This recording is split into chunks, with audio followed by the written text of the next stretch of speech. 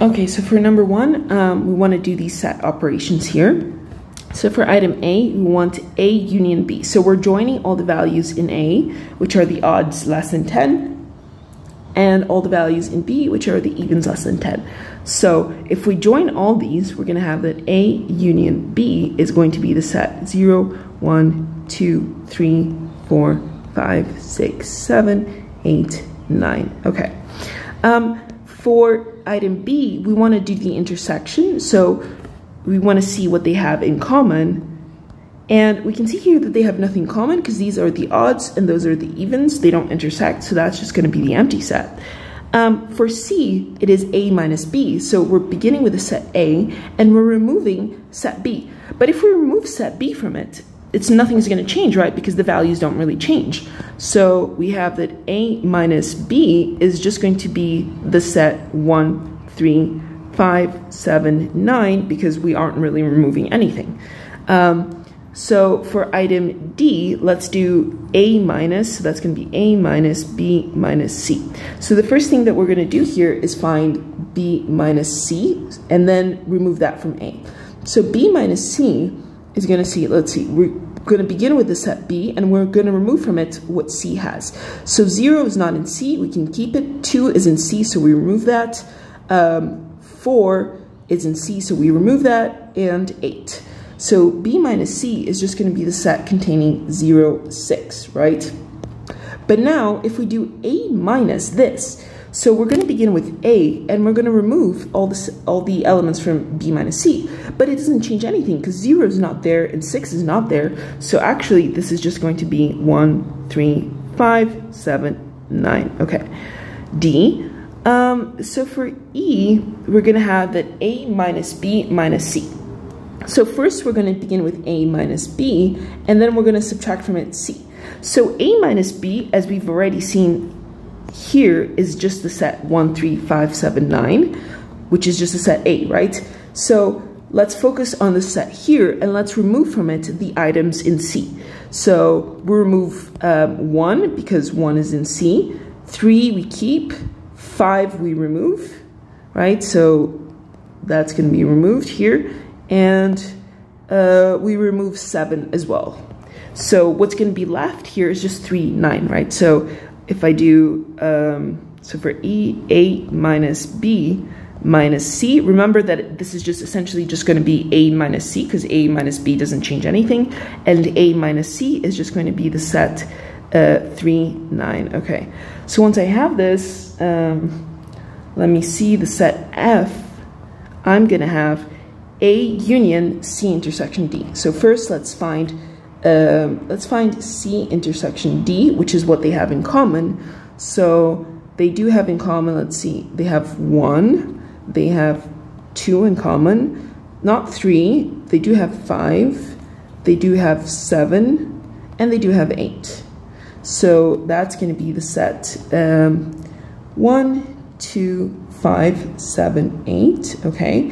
And then if we do, uh, let's see, A union C intersection D, I'm just adding all the odd numbers to this, right? So if I add all the odd numbers to that set, I'm gonna have one, uh, two, which is in C intersection D, three, which is in A, um, 5, which is in A, 7, which is in A, 8, which is in C intersection D, and then 9, which is in 8. So let me just check that. It's going to be 1, 2, 3, 5, 7, 8, 9. Yes, that is correct.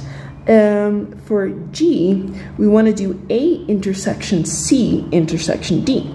So actually, uh, if we do A intersection C intersection D, we're just looking at what do these three sets have in common. So these three sets have one in common. Um, they have three in common. Oh wait, they don't have three because C doesn't have three. So they have one. Uh, they don't have two, they don't have three. They do have five because five is in all three of them. So they do have five. And then all three of them have seven and that is it. They have nothing else in common. So G, the intersection, oh, oops, and I forgot to write this here, so let me just move this to the side. So F is going to be A union C intersection D, Um, and G is going to be A union, A intersection C, which intersects with D, and that's just going to be, uh, the only thing they have in common is 1, 5, and 7. So 1, 5, and 7, okay. Um, the next thing that we're going to have here is A intersection B union C. So first let's find B union C, and that's just joining all the values in B and C. So we're going to have uh, 0, which is in B, 1 C, 2 in both of them, 4 in both of them, 6 in B, oops, I forgot 5, 4, 5 which is in C, um, 6 which is in B, 7 which is in C, and 8 which is in both of them. And then I want to do A intersection B union C. So what does this have in common with A? And basically we're just picking here the odd values, right? Because A, all the items in A are elements in A rather are odd. So let's see, H, uh, A intersection B union C, that's just going to be the odd values. So that's going to be 1, uh, 5, and 7. That's the only thing that they have. So that's going to be 1, 5, 7. Um, so that's H. And then for I, we're doing A intersection B, union A intersection A intersection C. Uh, so A intersection B, we have already done this. That was the item B, right? And we have seen that this is empty. So that's going to be empty. And then A intersection C is going to be the values that they have in common. I think we've already done that. I'm not sure. Okay, so A intersection C, they're going to have in common 1, um, 5, and 7. That's it. So if we if we join these, if we join 157 and the empty set, well, that's just going to be 157, right? So I, the A intersection B union uh, A intersection C, that's just going to be 157. And lastly, for J, we want to do uh, A union B uh, minus C, oops, minus C intersection D. So we've already done A union B, which is the this set here, right? A union B. So that's going to be 0, 1, 2, 3, 4, 5, and so on until 9. And then we want to remove from it all the items in C intersection D. So if we remove, let's see, um, we're going to keep 0. We're going to remove 1 because that's in C intersection D. We're going to remove 2, we're going to remove 5, we're going to remove 7, and we're going to remove 8.